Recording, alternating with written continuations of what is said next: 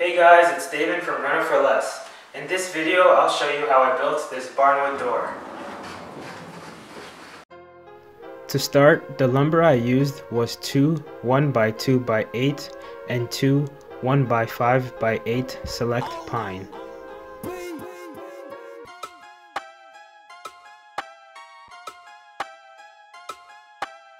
I measured and cut the lumber to the length I want my door to be.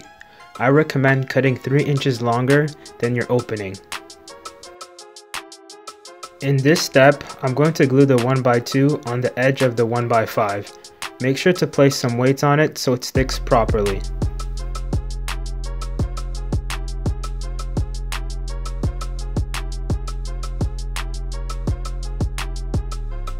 The lumber I have here is a 1 by 10 by 8. This will be used for the inner section of the door.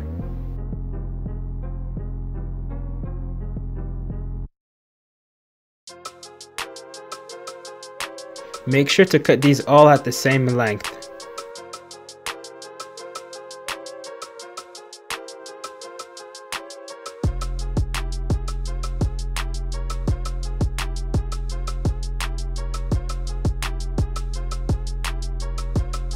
As you can see, I don't have a big enough workbench, so I had to get creative.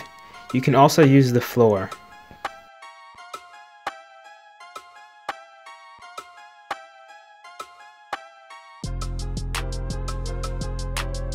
I'm gluing the 1x10s between both pieces.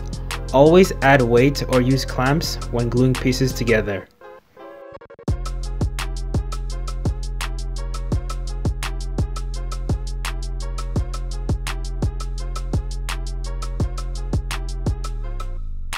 After I let the glue dry for a few hours, I flip the door over and add screws through the back. Make sure the screws you use are just the right size so they don't go through the door.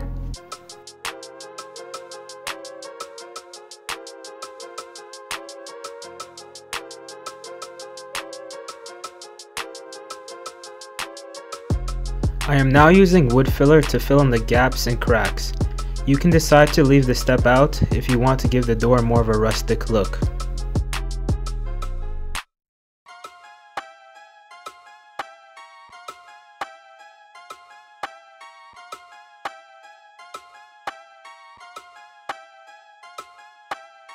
Once the wood filler dries, I sand the door.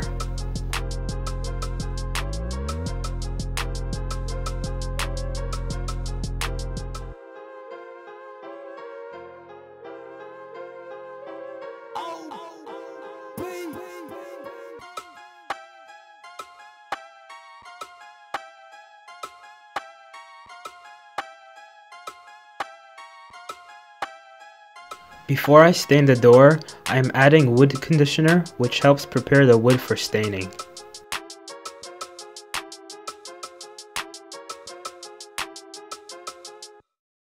I'm using special walnut for our stain color.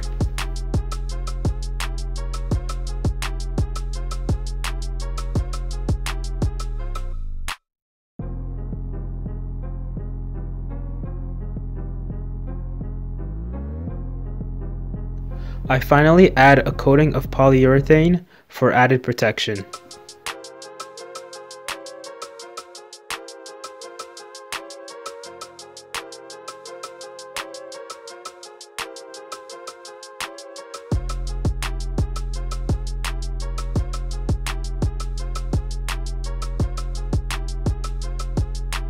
Now that the door is complete, I'm measuring where I will hang the door track.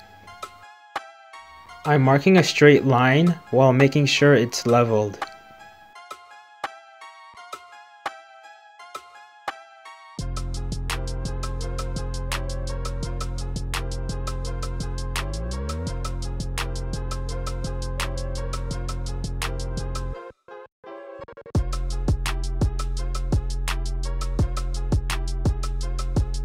In this step, I'm drilling pilot holes before attaching the track.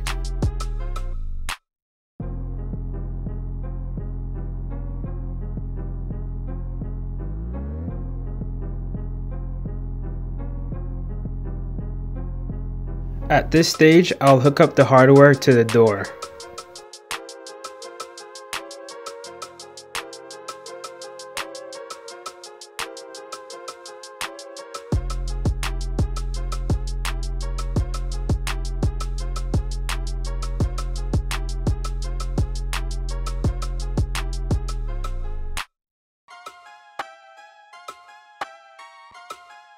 This is the final product.